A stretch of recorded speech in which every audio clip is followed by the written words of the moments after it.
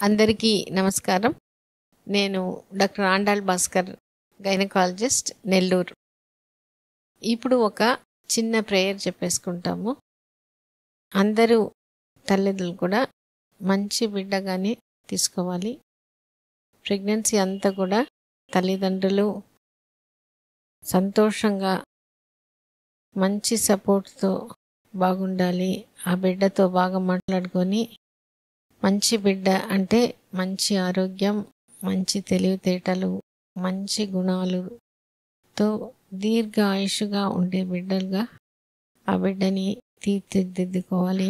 ఆ బిడ్డతో అనుబంధం ప్రెగ్నెన్సీలోనే బాగా ఏర్పరచుకోవాలి. అందరూ కూడా మంచి బిడ్డనే తీసుకోవాలి అని మనస్ఫూర్తిగా ప్రార్థిస్తున్నాను. ఇప్పుడు మనం డెలివరీ అయిన వాళ్ళు వాళ్ళ ఎక్స్పీరియన్స్ మనతో షేర్ చేసుకుంటారు. ఇది ఎందుకు ఇది పెడతామంటే చాలామందికి వాళ్ళ ఒక డౌట్ క్లియర్ అయిపోతుంది. చాలా డౌట్స్ ఎన్ని బుక్స్ చూసినా ఎన్ని నెట్ సెర్చ్ చేసినా కూడా క్లియర్ అవ్వదన్నమాట. ఇప్పుడు ఈ తల్లులు వాళ్ళ ఎక్స్పీరియన్స్ మనతో షేర్ చేసుకోవడం వల్ల మనకి డౌట్ క్లియర్ అవుతుంది ఒకటి. రెండోది కొన్ని కొన్ని వాళ్ళు మనస్ఫూర్తిగా ఫీలింగ్తో చెప్తారు. మనం కూడా అదే వేవ్ లెంత్లో ఉన్నప్పుడు అదొకసారి అట్లనే బాగా రికార్డ్ అయిపోతుంది అనమాట సబ్ కాన్షియస్ మైండ్లో. కొన్నిసార్లు అది చాలా కాలం ఉండిపోతుంది. సో అందువల్ల ఎప్పుడు చెప్తుంటాను మనసు పెట్టి వినాలి ఇటువంటిది వినేటప్పుడు. ఆ మనసు పెట్టి విన్నప్పుడు వాళ్ళకుండా ఆ కాన్ఫిడెన్స్ తెలియకుండా మనకు అట్లనే మనం రిసీవ్ చేసేసుకుంటాము. మనకి కూడా ఆ కాన్ఫిడెన్స్ అనేది ఈజీగా వచ్చేదానికి అవకాశం ఉంటుంది. అందుకని ఇప్పుడు మనతో తన ఎక్స్పీరియన్స్ షేర్ చేసుకునేదానికి మౌనిక వచ్చినారు. తన ఎక్స్పీరియన్స్ ఇప్పుడు మనతో షేర్ చేసుకుంటారు. నేను ఇక్కడికి ఫిఫ్త్ మంత్లో వచ్చాను. మా ఫ్రెండ్ గౌతమి సజెస్ట్ చేసింది నాకు ఈ హాస్పిటల్. అంతకుముందు చాలా ఎక్కడ ఫస్ట్ ఇక్కడికి వచ్చినప్పుడు ఎక్కడ చూపించుకోవాలి అని చూస్తూ ఉంటే చాలా హాస్పిటల్స్ అనుకున్నాము. కానీ ఇది బాగుంటుంది అని తను చెప్పడంతో ఇక్కడికి రా రావడం జరిగింది. ఇక్కడికి వచ్చేటప్పుడు కూడా అమ్మ మాది నాయుడుపేట. అమ్మ ఏమందంటే ఎవ్రీ టైము ఇంత దూరం ట్రావెలింగ్ నీకు నాకు ట్రావెలింగ్ పడదు. మోస్ట్లీ వామిటింగ్స్ అవుతూ ఉంటాయి ట్రావెల్ చేసేటప్పుడు. ఇప్పుడంటే మంత్లీ వన్ టైం ఆ తర్వాత నెలల నిండే కొద్దీ ఫిఫ్టీన్ డేస్కి ఒకసారి రమ్మంటారు. వన్ వీక్ ఒకసారి రమ్మంటారు. మరి అప్పుడు కష్టం అవుతుంది కదా అని చెప్పారు. అయినా పర్వాలేదు నాకు ఇక్కడే చేసుకుంటానని చెప్పాను. సరే అనేసి ఇక్కడికే తీసుకొచ్చారు. ఇక్కడికి వచ్చిన తర్వాత వాళ్ళు రిసీవ్ చేసుకునే పద్ధతి నాకు చాలా బాగా నచ్చింది. చాలా బాగా మాట్లా అంటే ఎలా అంటే జై ఫస్ట్ జయలత మేడం కానీ రిసెప్షన్లో అందరూ చాలా స్మైలీగా రిసీవ్ చేసుకున్నారు. ఫస్ట్ విజిట్లోనే మెడిటేషన్ గురించి చెప్పారు డైట్ గురించి చెప్పారు ఇంకా టాక్ టు బేబీ చెప్పారు. ఇలా చూస్తే అన్ని హాస్పిటల్స్ కంటే ఇది కొంచెం నాకు డిఫరెంట్ లాగా అనిపించింది. అంటే ఎక్కడ ఇన్ని వేస్ నేను వినలేదు.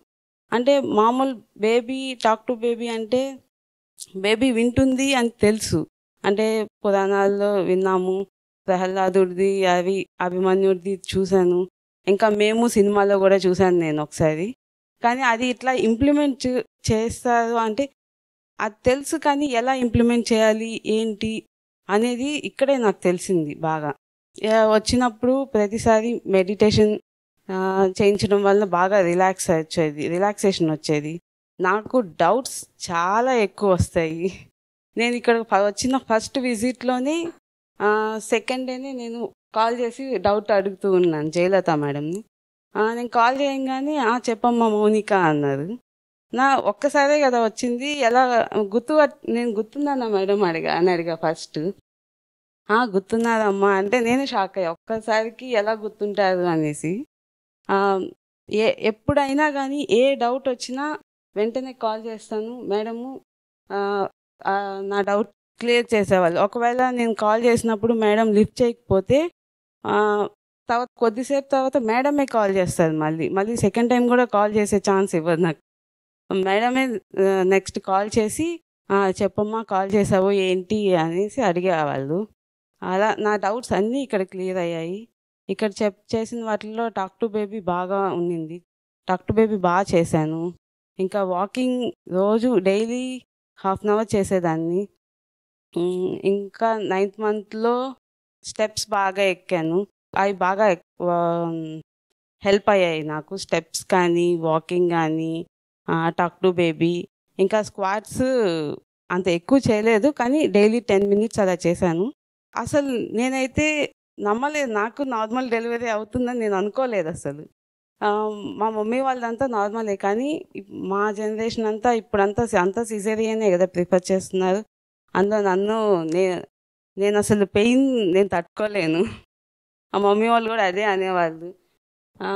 కానీ ఇక్కడకి వచ్చిన తర్వాత వీళ్ళు మెంటల్గా కానీ వీళ్ళు చెప్పిన ఎక్సర్సైజెస్ అన్ని ఫిజికల్గా సపోర్ట్ చేస్తే వీళ్ళు చెప్పిన వర్డ్స్ నాకు మెంటల్గా నేను నార్మల్ చేసుకోగలను అని కాన్ఫిడెన్స్ నాకు వచ్చింది ఆ, కాన్ఫిడెన్స్తో ఓకే నేను చేసుకోగలను. కాకపోతే ఏదైనా కాంప్లికేషన్ వస్తే అది ఇంకా ఫైనల్ లాస్ట్లో అది మేడంకి వదిలేస్తాం. దాని సంగతి వదిలేసి అంత కాకపోతే నా ప్రయత్నం నేను చేస్తాను నేను ఖచ్చితంగా నార్మల్ చేసుకుంటాను అని చెప్పేదాన్ని. బేబీకి కూడా రోజు చెప్పేదాన్ని అమ్మకి నార్మల్ అయిపోవాలి ఈజీగా. ఆ టైంలో నువ్వే అమ్మకి తోడుగా ఉండి ఈజీగా నార్మల్ అయిపోయేలా చూడు. ఎక్కువ ఇబ్బంది పెట్టకు అమ్మ ఎక్కువ పెయిన్ భరించలేదు అని రోజు బేబీకి చెప్పేదాన్ని. బేబీ వినేది. అంటే రెస్పాన్స్ ఇచ్చేది. రెస్పాన్స్ ఇచ్చేది మేడం.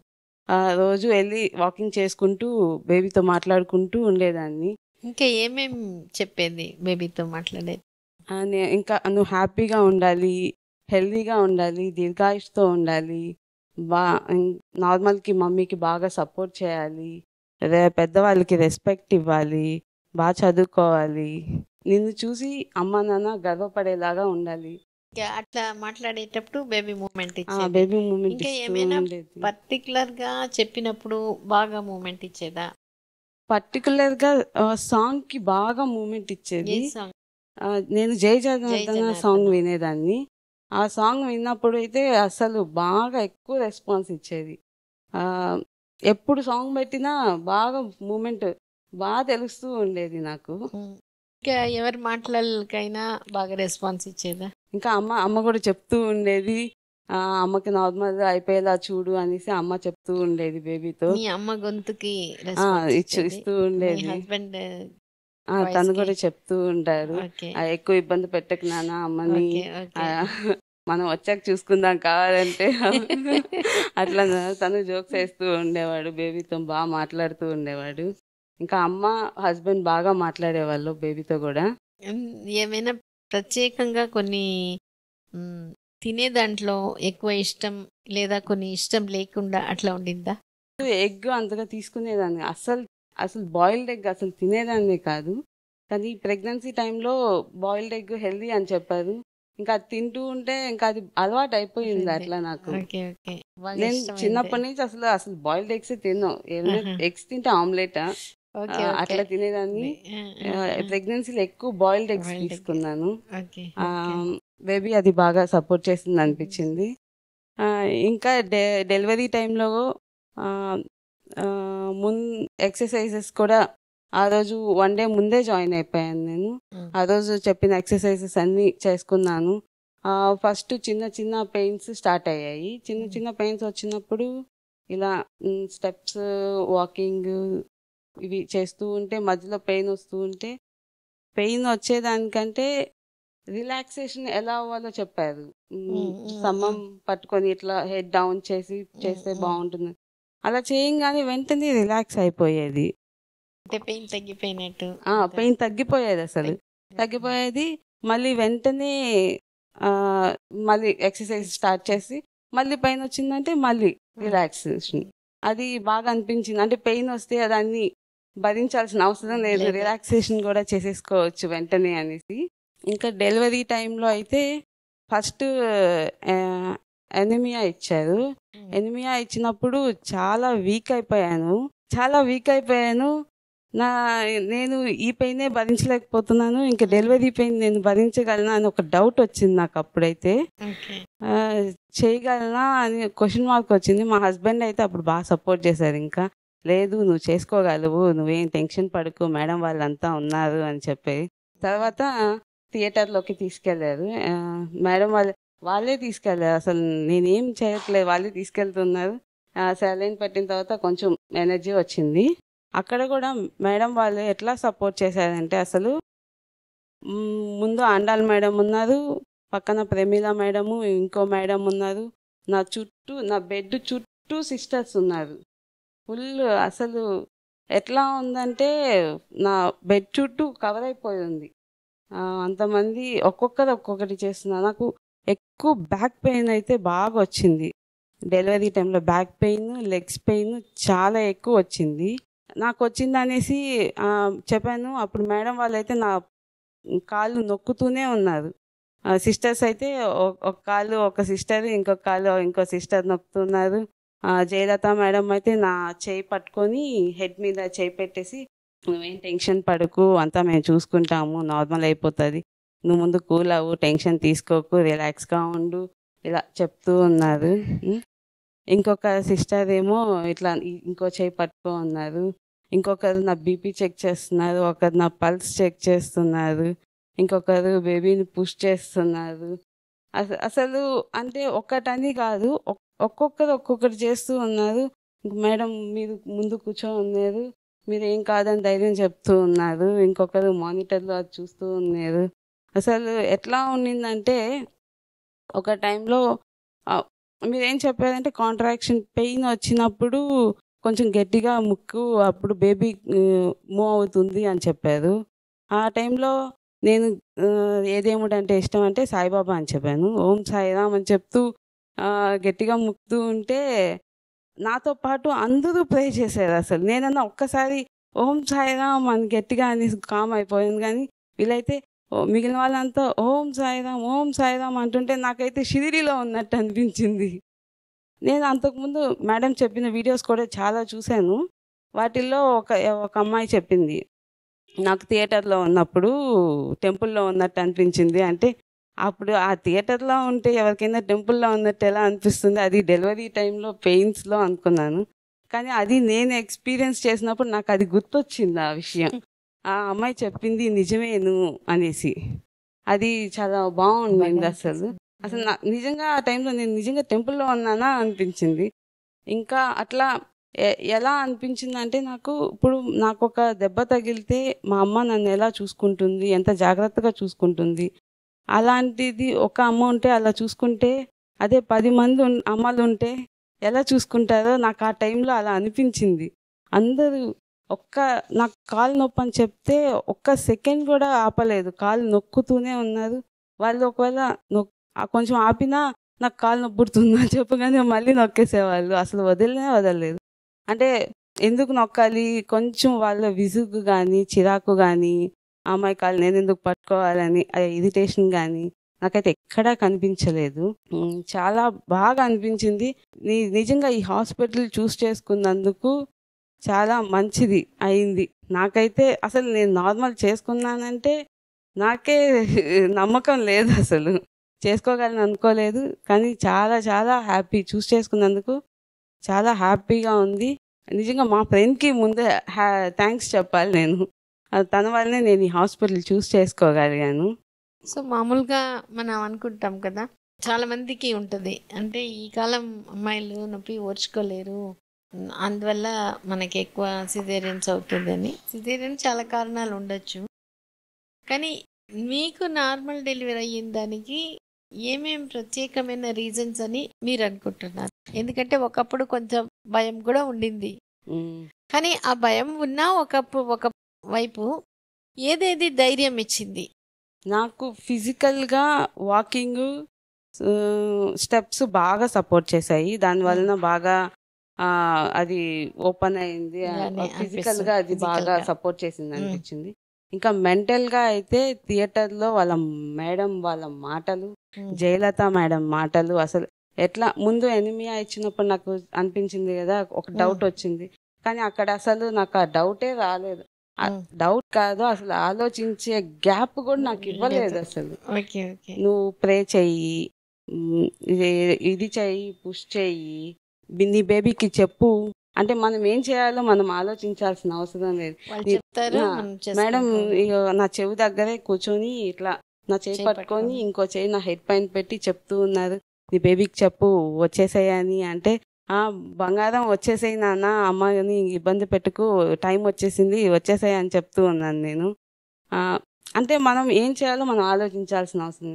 మధ్యలో అసలు నాకు సిజేరియన్ నార్మల్ అవదేమో అనే థాట్ కూడా నాకు ఆ టైంలో రాలేదు.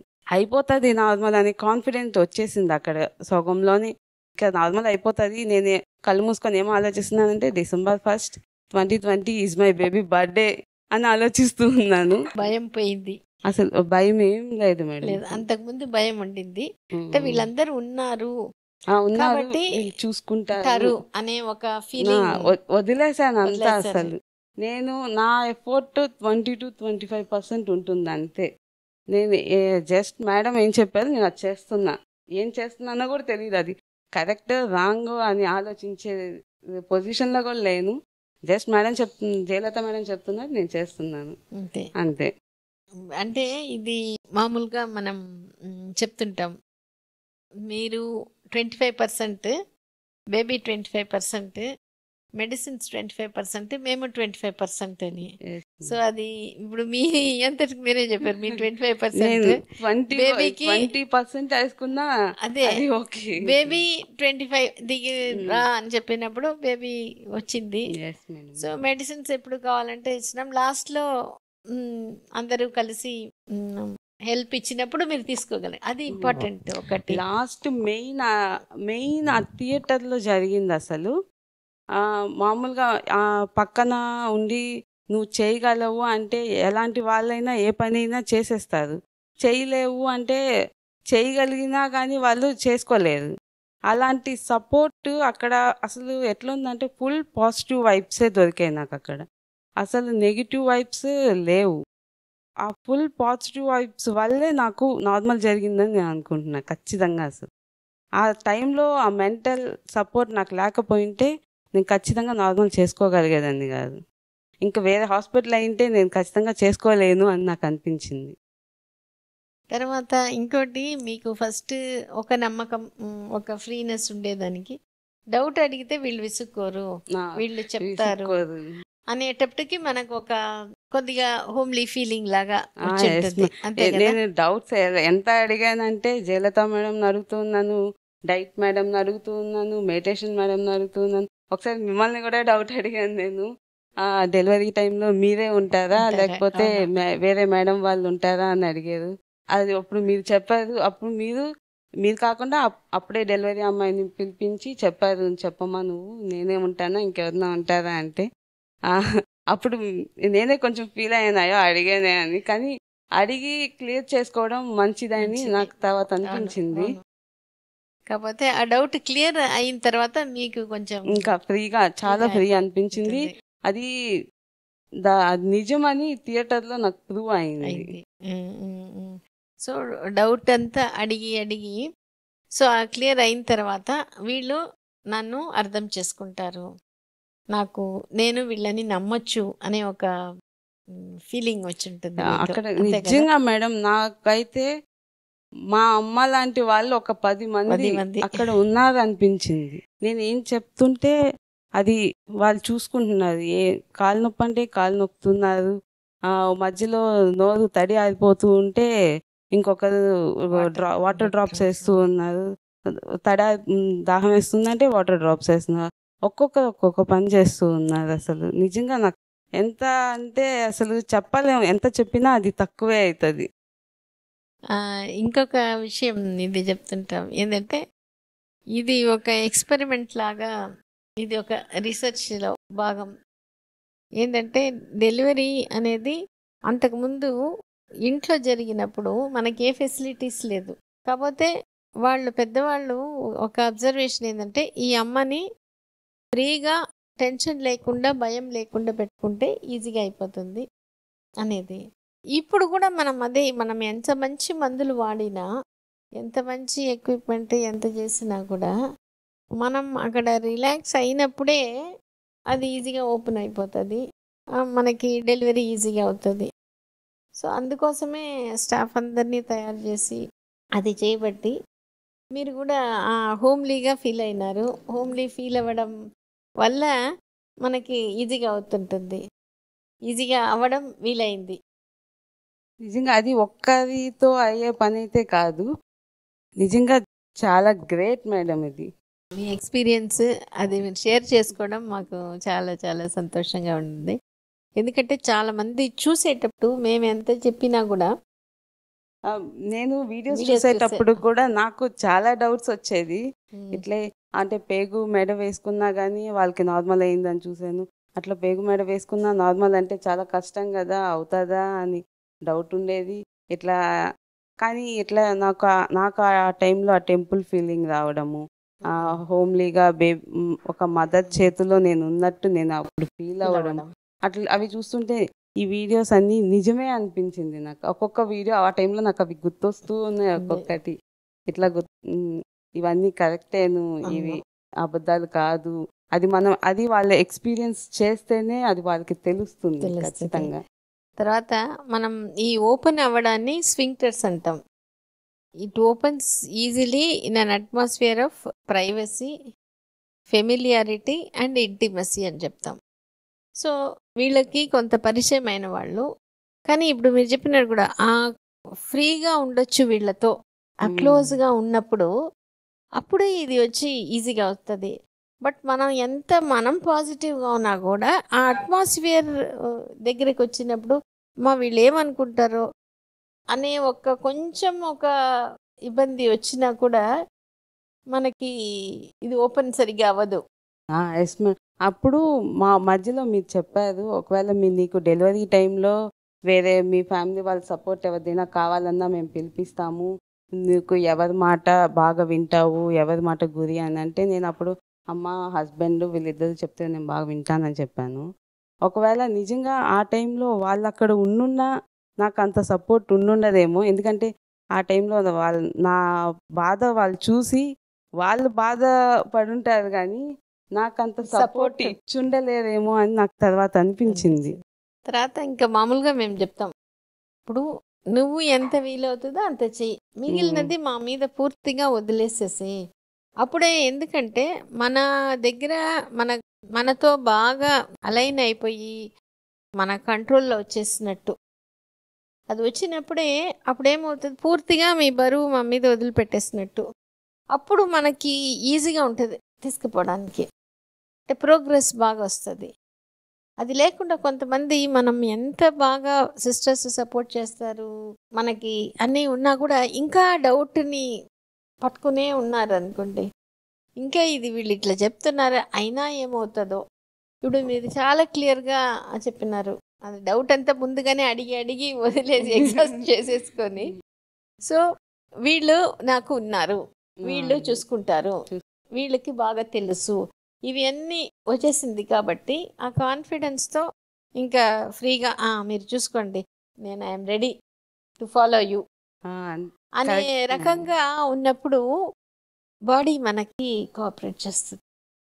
అప్పుడు మనకి మ్, కొన్ని సందర్భాల్లో అంటే ఆ ఎందుకంటే ద్వారం ఓపెన్ అవ్వడం ఇవి అన్నీ కూడా మైండ్ బాడీ కనెక్షన్ అన్నమాట. సో మనం ఇక్కడ ఎంత రిలాక్స్ అయితే అంత బాగా మన బాత్రూంలో మనం ఈజీగా యూరినో మోషనో పోయినట్టు మనం బయట పోతే ఎ- బయట బాత్రూమ్ ఎట్లా ఉంటుందో అని మనకు కొంచెం డౌట్ ఉన్నా కూడా మనం ఎంత ఫ్రీగా ఉండకపోతే అది మనం ఫ్రీగా పోలేము. అట్లా అయిపోతుంది డెలివరీ. సో మెయిన్గా ఈ feeling of intimacy rapport bonding ఇది మాతో పాటు ఎంత బాగా వచ్చేస్తుందో మీకు మనస్ఫూర్తిగా వీళ్ళు ఉన్నారు వీళ్ళు చూసుకుంటారు అనేది వచ్చేస్తే డెలివరీ మిగిలిన చాలా ఈజీగా చేసుకోవచ్చు. అటు అవసరమైనప్పుడు మనం ఖచ్చితంగా సిజేరియన్కి వెళ్తాం. ఏమైనా బేబీకి అవసరమైనప్పుడు. బట్ బేబీ యావరేజ్ వెయిట్ ఉండి మదర్ బాగా హ్యాపీగా రిలాక్స్డ్గా ఉంటే చాలా వరకు ఈజీగానే అయిపోతుంది. సో ఇట్లా ఈజీగా అయిపోవడం అనేది మీకు తర్వాత కూడా ఒక మంచి మెమరీగా ఒక అచీవ్మెంట్గా అయిపోతుంది కదా? ఎట్లా చాలా చాలా అసలు నార్మల్ చేసుకున్నానంటే అసలు నాకు షాకింగ్గా ఉంది అంతా చాలా హ్యాపీగా ఉంది అసలు. అంటే హెల్ప్ ఇస్తే మనం ఈ కాలంలో కూడా. చేసుకోవచ్చు. కదా చాలా మంది అనుకుంటారు ఈ కాలంలో నార్మల్ డెలివరీ అనేది అవ్వట్లేదు చాలా కష్టం. అంటే మనం ఎంత టెన్షన్ పెట్టుకుంటే అంత కష్టం. మనం ఎంత రిలాక్స్డ్ అయిపోతామో అంత ఈజీ అనేది మీ నాకు ఎక్స్పీరియన్స్ ప్రూవ్ చేస్తుంది కదా. సాంగ్ జయ జనార్దన ప్రెగ్నెంట్ ఇప్పుడు కూడా ఫీడింగ్ ఇచ్చేటప్పుడు నిద్రపోయేటప్పుడు కూడా అది చేయండి. ఎప్పుడంతా బేబీ కొంచెం రెస్ట్లెస్గా అట్లా ఉన్నప్పుడు కూడా అది వాటర్ పడండి. కంటిన్యూస్ బై ఇంతకుముందు ఎట్లా టాక్ టు బేబీ చేసారో ఇప్పుడు కూడా టాక్ టు బేబీ ఇప్పుడు కూడా మామూలుగా అమ్మ వాళ్ళు ఎత్తుకొని ఆడిస్తున్నప్పుడు బేబీ ఏడుస్తూ ఉంటే నేను ఆ బంగారం అనగానే కామ్ అయిపోయి నా సైజ్ చూస్తాడు అదే కదా. వాళ్ళకి అర్థమవుతుంది. ఒకవేళ నేను పిలవకుండా నేను గమ్మునున్నా కానీ మమ్మీ పిలవే నువ్వు పిలువు. పిలిస్తే వీడు గమ్మున అయిపోతాడు. ఎందుకు పిలువు? అని చెప్పి చెప్పి అమ్మకు కూడా అది తెలిసిపోయింది అది తెలిసిపోయింది. కదా? సో బాగా మాట్లాడుతూ మాట్లాడుతున్నప్పుడు వాళ్ళకి బాగా యాక్టివ్గా ఉంటారు. బాగా ఫీడింగ్ తీసుకోవడం బాగా నిద్రపోవడం ఇది రెండు బాగా చేస్తే మెలుకునే టైంలో వాళ్ళు యాక్టివ్గా ఉంటారు. సో వాళ్ళతో బాగా ఎత్తుకోవడం మాట్లాడడం ఉన్నప్పుడు వాళ్ళ ఇంటరాక్షన్ ఎంత బాగా ఉంటుందో ఇంటెలిజెన్స్ ఎంత బాగా. అందుకని ఫస్ట్ మాటలు బాగా వస్తుంది స్పష్టంగా వస్తుంది. అందుకని ఖచ్చితంగా మాట్లాడుతూ ఉండండి అందరూ. ఈ ముగ్గురు. మాట్లాడండి. ఎందుకంటే మనం ఇంత బాగా హ్యాపీగా చేసుకునే దానికి ఒక మంచి సిటిజన్గా మనం ఖచ్చితంగా మేడం. ఖచ్చితంగా ఫాలో అవుతాను ఇప్పుడు దాకా సక్సెస్ అయింది. ముందు. కూడా ఖచ్చితంగా సక్సెస్ అవుతుంది థ్యాంక్స్ మా ఎందుకంటే మనం ఎట్లయినా అమ్మ డెలివరీ గురించి హ్యాపీగా పెట్టుకుంటే ఆ మెమరీ ఉంటే తనకి లైఫ్ లాంగ్ అది ఒక సంతోషమైన విషయంగా ఉంటుంది. సో హ్యాపీగా ఫీల్ అవ్వాలి. డెలివరీ అది నార్మల్ అయినా సిజేరియన్ అయినా తనని అందరు బాగా చూసుకున్నారు అనే ఒక ఫీలింగ్ ఇచ్చినప్పుడు ఆమె ఫ్యామిలీకి అంతా కూడా ఆమె దానివల్ల మంచిగా జరుగుతుంది అనమాట అమ్మ ఆ కాన్ఫిడెన్స్ హ్యాపీనెస్ ఇచ్చినప్పుడు. సో అది మనం ఇచ్చి పంపించాలనేది మాకు మీరు అది మీ ఎక్స్పీరియన్స్ అది చెప్పడం మీ ఫీడ్బ్యాక్ చాలా హ్యాపీగా ఉంది. చాలా సంతోషం thank you madam all the very best God bless you thank you madam